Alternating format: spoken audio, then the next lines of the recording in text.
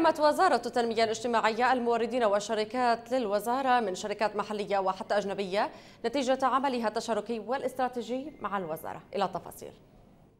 استمرارا في تحقيق الشراكة الاستراتيجية بين القطاع العام والخاص كرمت وزارة التنمية الاجتماعية الموردين والشركاء للوزارة من شركات محلية وأجنبية.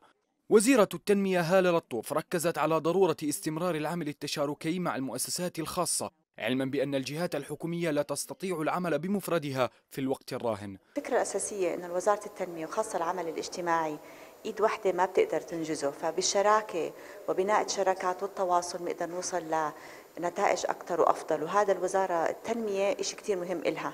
يعني بنعرف إن الوزارة مسجل فيها جمعيات خيرية لكن كمان نعتمد على تقديم خدماتنا من خلال الشركاء.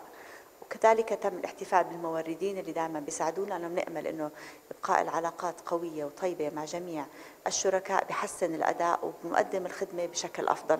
المدير العام لمؤسسة نهر الأردن إنعام البريشي بينت أن الأساس في العمل يجب أن يكون تشاركي مع مؤسسات القطاع العام والخاص لتحقيق التنمية المستدامة.